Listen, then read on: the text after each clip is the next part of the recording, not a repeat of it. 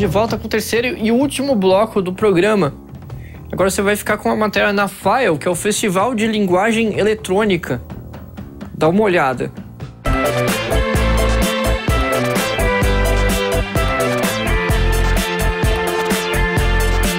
Os destaques do FILE são é o shrink, onde é retirado o ar do plástico, a pessoa é plastificada a vácuo e a pessoa tá ali numa relação estranhíssima.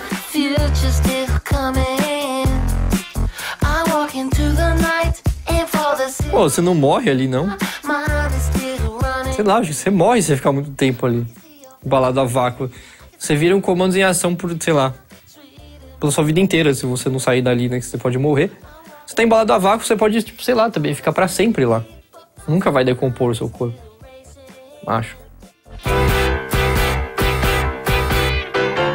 O outro trabalho interessante é o ADA, que é aquela grande bola flutuante. Eu lembro de uma criança que falou assim: não é, não é sempre que nós temos uma bola gigante que voa e que desenha.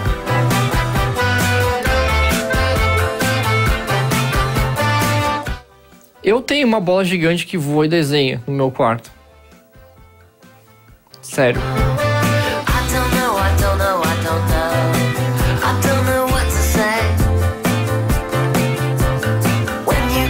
Nemo Observatório, que é esse simulador de tornado, onde as pessoas ficam ali no olho do furacão, né? E percebendo toda a plasticidade daquelas micropartículas se mexendo em torno delas. Legal, esse daí eu não tenho no meu quarto, não. Nem, nem de brincadeira. Uma outra obra que é importante, que é o Elucidate Feedback. Você fica na frente de uma textura e conforme a sua concentração nessa textura, ela vai modificando os seus padrões. Como assim? A textura é inteligente? A textura sabe que você está se concentrando ou não? Não entendi mesmo essa obra.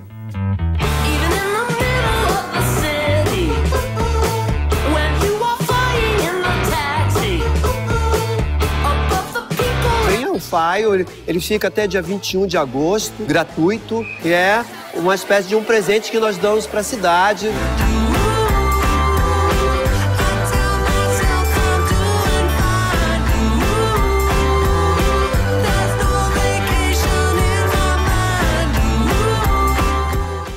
Eu quero dizer aqui que eu tô decepcionado com a humanidade.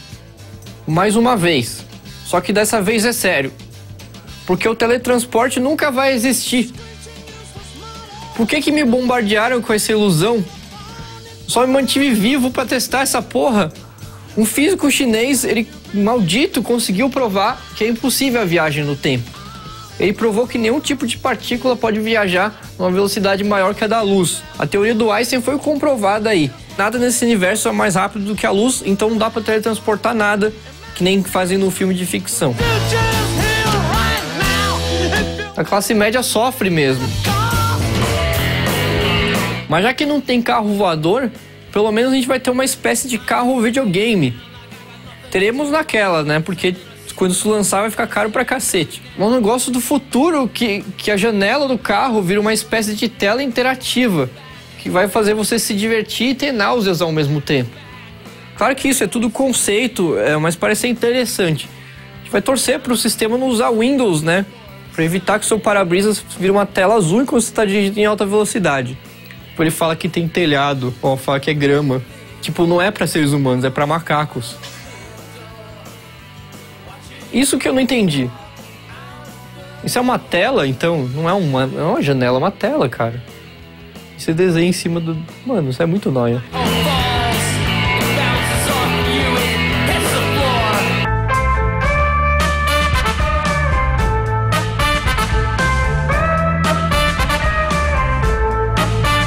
Bom, porque eu sou tão lindo? Porque a minha mãe me fez assim.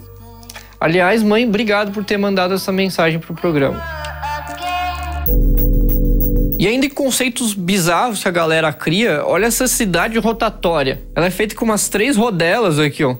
Enormes, que elas giram entre si, fazendo que você nunca precise de um carro. É só esperar que a rodela chegue até você. É uma ideia incrível e estúpida. Porque quem é que vai querer morar numa cidade girando? Juro, eu tenho, eu tenho problema de, de vertigem, cara. Além do fato que eu sou perdido, né? Eu ficaria girando em círculo, correndo atrás do negócio para alcançar os lugares. Porque eu nem ia saber usar as pontes de transição que eles fazem de uma rodela para outra. Aliás, por que as pessoas fazem isso sempre, né? Ao invés de resolver um problema da forma normal, o sujeito pensa: não, eu tenho a solução para diminuir o trânsito. Vamos fazer a porra de uma cidade girar inteira. Que eu não duvido que vão fazer isso de verdade. Começou assim já, já começou isso nos rodízios de restaurante japonês. Daí para virar uma cidade toda é um pulo. Eles vão contratar um pessoal do terceiro mundo para girar lá embaixo. Assim, tipo. Acabou o programa. É isso, só isso que eu tenho a dizer. Acabou mesmo. É. Eu vou sair girando.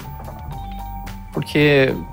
Porque eu fiquei entusiasmado com esse negócio da cidade girando eu acho que se eu sair girando, eu vou chegar mais rápido nos lugares, porque não é esse o conceito do negócio?